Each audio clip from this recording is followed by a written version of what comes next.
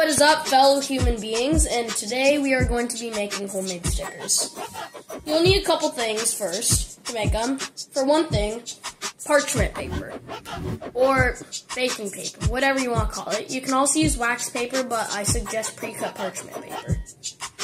Next, you also need tape. You can use packaging tape or scotch tape. I recommend packaging tape because it's bigger. If you use scotch tape, it'll still work well. It'll just take a little bit longer.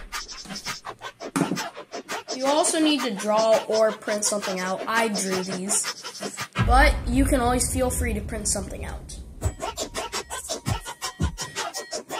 And talking. Let's dive into this.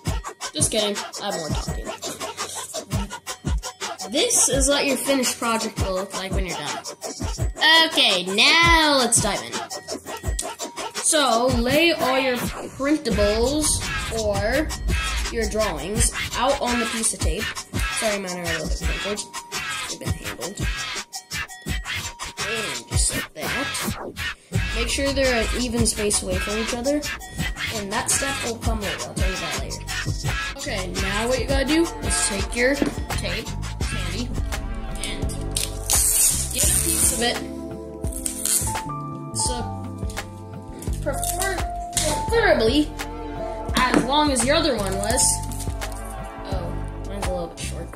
Well, I'll worry about later. And mine's a little bit short. Well, I'll worry about later. And lay it down just like that. Sigma. Yeah, lay it down firm. Try to get all the wrinkles out of the tape. I did a bad job at that, so do not copy me. And I'm going to do this one real quick. Free to pause the video and get all the wrinkles out of your tape, just like what I'm about to do. Done getting all the wrinkles out, this should be the finished project. Now, we have got all our wrinkles out too. It's okay if you didn't get all of them out, we just got most of them out. Here's a step I forgot earlier. You also need scissors. And you gotta take your scissors and cut the tape out just like this.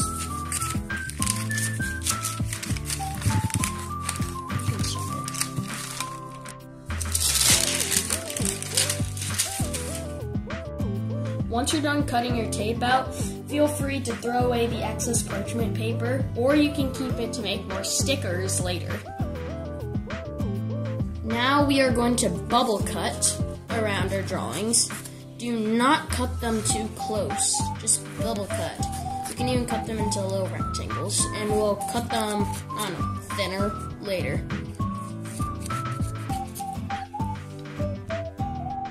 Now we are going to cut more precisely around the shape. So I've already cut a little bit of the circle right here. And we are just going to cut more precisely. Feel free to pause the video again to finish yours. I, right now, I'm just going to do one, but you guys can do more if you want to. Now you have made stickers. This should be your finished project right here. And you have made stickers. And to, you know, stick them on things, all you have to do is pull the back off. That's how yours turned out, and or if you like my drawings in the video.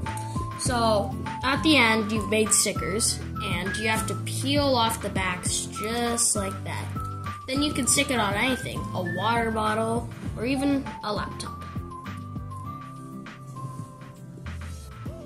Free to subscribe, like, or comment to support the channel.